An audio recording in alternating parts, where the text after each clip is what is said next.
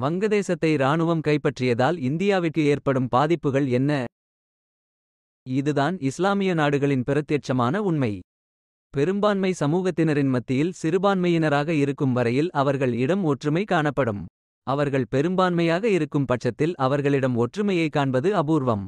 சண்டையும் சச்சரவும் கலகமுமாக அடித்துக் கொள்வதுதான் அவர்கள் வாழ்வாகும். நிம்மதியாக வாழமாட்டார்கள். ஏழை நாடாக இருந்தாலும் சரி பணக்கார நாடாக இருந்தாலும் சரி இரும்புக்கரம் கொண்டு ஆட்சி செய்யும் ஒரு சர்வாதிகாரியிடம் மட்டுமே சற்று அடங்கி இருப்பார்கள். இல்லை என்றால் தங்களுக்குள் சண்டையிட்டு சாவார்கள். ஜனநாயகம் என்பது இவர்களிடம் உதவாது. இதனால்தான் இஸ்லாமிய நாடுகளில் ஜனநாயகம் எப்போதும் வென்றதில்லை. பக்கத்து பாகிஸ்தான் ஆப்கானிஸ்தான் சிறந்த எடுத்துக்காட்டு. இப்போது வங்கதேசமும் சேர்ந்துள்ளது. இது நாள் வரை பெரும் உதவியாக இருந்த இந்தியாவை விட்டு விலகி சீனாவிடம் நட்புக்கரம் நீட்டி குலாவ துவங்கும் போதே அவர்களின் அழிவு துவங்கிவிட்டது.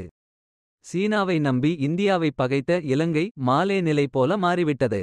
இப்போதுதான் பொருளாதார ரீதியில் மெதுவாக வளர்ந்து கொண்டு வரத் தொடங்கினார்கள். முக்கியமாக ரெடிமேட் ஆடைகள் தொழிலில் இந்தியாவின் திருப்பூர் தொழிலுக்கு சவாலாக வளர்ந்து அவர்களின் ஏற்றுமதி மிக உயர்ந்து வளர்ச்சியடைந்தது. திருப்பூர் தொழில் வெகுவாக பாதிக்கப்பட்டது. இப்போது நிலைமை மாறலாம்.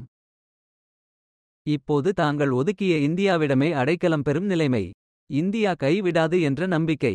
இதுதான் உலக நாடுகள் இந்தியாவிடம் வைத்துள்ள நம்பிக்கை. வங்கதேசத்தில் இராணுவ ஆட்சியால் இந்தியாவிற்கு உடனடி தலைவலி அந்நாட்டின் அகதிகள் வருகை. அதை கட்டுப்படுத்த போராட வேண்டும். சட்டத்திற்கு புறம்பாக பல சக்திகள் ஊடுருவ முயற்சி செய்வார்கள். அதையும் தடுக்க வேண்டும். இராணுவ ரீதியாக பெரிய பிரச்சினை ஏத்தும் இல்லை.